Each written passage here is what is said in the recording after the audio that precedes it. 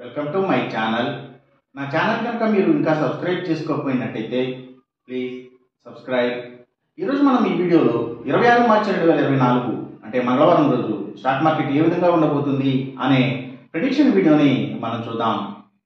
అసలు మంగళవారం రోజు ఓవరాల్గా స్టాక్ మార్కెట్ రెండు ఎలా ఉండబోతుంది అనేది తెలుసుకునే ముందుగా ప్రీ మార్కెట్ సెషన్ గురించి మనం ప్రిడిక్ట్ చేయాలి అంటే అంతకన్నా ముందు రోజు అంటే Monday American stock market Nasdaq అక్కడ న్యూస్ మీద డిపెండ్ అయ్యి మార్కెట్ మూమెంట్ చూపించే అవకాశం ఉంది. అలాగే ఇక నెక్స్ట్ రోజు అంటే ట్యూస్డే మార్నింగ్ టైం ఒక పాజిటివ్ ట్రెండ్ని చూపించే అవకాశం ఉంది. ఏషియన్ మార్కెట్స్ ఒక పాజిటివ్ మూమెంట్ని పాజిటివ్ ట్రెండ్ని చూపించే అవకాశం ఉంది. సో అలాంటి పాజిటివ్ ట్రెండ్ బిగినింగ్ మనకు చూ దొరికిన తర్వాత మన మార్కెట్ ఓవరాల్ ట్రెండ్ మనం చూడాలి అంటే అది పాజిటివ్గా ట్రెండ్ అయ్యే అవకాశం ఉంది. ఆ పాజిటివ్ ట్రెండ్ ఎంత అనేది మాత్రం గ్లోబల్ మార్కెట్ ట్రెండ్స్ మీద న్యూస్ మీద డిపెండ్ అయ్యి డిసైడ్ అయ్యే అవకాశం ఉంది. అలాగే సేమ్ బ్యాంక్ నిఫ్టీ కూడా పాజిటివ్గానే ట్రెండ్ అయ్యే అవకాశం ఉంది. సేమ్ బ్యాంక్ నిఫ్టీ కూడా అలాగే దాని పాజిటివిటీ ఎంత అనేది మాత్రం గ్లోబల్ మార్కెట్ ట్రెండ్స్ మీద ఇంకా న్యూస్ మీద డిపెండ్ అయ్యి డిసైడ్ అయ్యే అవకాశం ఉంది. నిఫ్టీ ఐటీ మాత్రం నెగిటివ్గా ట్రెండ్ అయ్యే అవకాశం ఉంది. ఇక మనం ఇంట్రాడే స్టాక్ సెలెక్షన్ విషయంలో భాగంగా ముందుగా మనం గెయినర్స్ విషయం చూడాలి అంటే ఏవైతే Nifty pharma and hospitals stocks ముఖ్యంగా ఫార్మా స్టాక్స్ మంచిగా గెయిన్ అయ్యే అవకాశం ఉంది. అలాగే ఇంకా రియల్ ఎస్టేట్ సెక్టర్ స్టాక్స్ ప్రత్యేకించి ల్యాండ్స్తో డీల్ చేసే కంపెనీల స్టాక్స్. సో ఇవి అలాగే ఇంకా ఏవైతే పెట్రోకెమికల్స్కి సంబంధించిన కంపెనీల స్టాక్స్ ఆయిల్ అండ్ న్యాచురల్ గ్యాస్కి సంబంధించిన కంపెనీల స్టాక్స్ పవర్ అండ్ ఎనర్జీ కంపెనీల స్టాక్స్ ఇందులో కూడా హైడ్రో ఎలక్ట్రిక్ పవర్కి సంబంధించిన కంపెనీల స్టాక్స్ సో ఇవి సిమెంట్స్ కంపెనీల స్టాక్స్ సో ఇవన్నీ కూడా మంచిగా గెయిన్ అయ్యే అవకాశం ఉంది. అలాగే ఇంకా పబ్లిక్ లిమిటెడ్ కంపెనీల స్టాక్స్ చాలా వరకు కూడా గెయినింగ్ సైడ్ ఉండే అవకాశం ఉంది.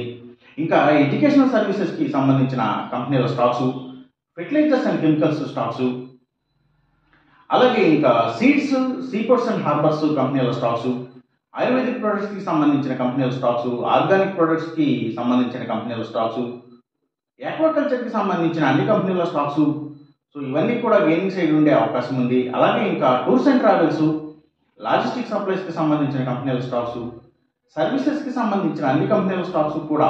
అంటే courier services delivery services education సర్వీసెస్కి సంబంధించిన స్టాక్స్ ఇవన్నీ కూడా గెయినింగ్ సైడ్ ఉండే అవకాశం ఉంది మంగళవారం రోజున. అలాగే గవర్నమెంట్ బ్యాంక్స్ అండ్ ఫైనాన్షియల్స్ అంటే PSU banks government financials so ఇవన్నీ కూడా గెయినింగ్ సైడ్ ఉండే అవకాశం ఉంది మంగళవారం రోజున.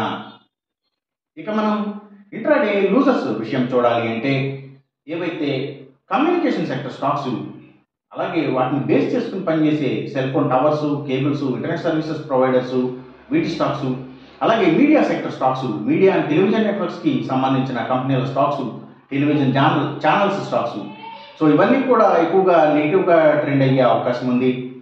అలాగే ఇంకా స్టీల్స్ ఐటీ స్టాక్స్ సో ఇవి అలాగే సిగరెట్ కంపెనీల స్టాక్స్ లిక్కర్ కంపెనీల స్టాక్స్ అంటే స్పిరిట్స్కి సంబంధించిన కంపెనీల స్టాక్స్ సో ఇవన్నీ కూడా నెగిటివ్గా ట్రెండ్ అయ్యే అవకాశం ఉంది మంగళవారం రోజున. ఇక మనం ఎంసీఎక్స్ ట్రేడింగ్ విషయం చూడాలి అంటే ఏవైతే crude oil and natural gases prices. So ఇవి అలాగే గోల్డ్ ప్రైసెస్ ఇంకా సిల్వర్ ప్రైసెస్. సో ఇవన్నీ కూడా పెరిగే అవకాశం ఉంది. కాపర్ ప్రైసెస్ మాత్రం కొంత తగ్గే అవకాశం ఉంది. ఈ చెప్పిన రిజల్ట్స్కి ఏమాత్రం వ్యతిరేకంగా జరుగుతున్నట్టు మీకు అనిపించినా సరే ఇమీడియట్గా మీ మీ బయట నుంచి వెనక్కి వచ్చేసేయండి. ఇది కేవలం ఒక ఆస్ట్రాలజికల్ ప్రిడిక్షన్ మాత్రమే. దయచేసి గమనించండి. అలాగే ఈ వీడియో కనుక మీకు నచ్చినట్టయితే నా ఛానల్ని సబ్స్క్రైబ్ చేయండి. అందరికీ ఈ వీడియోని షేర్ చేయండి. లైక్ చేయండి. Thank you for watching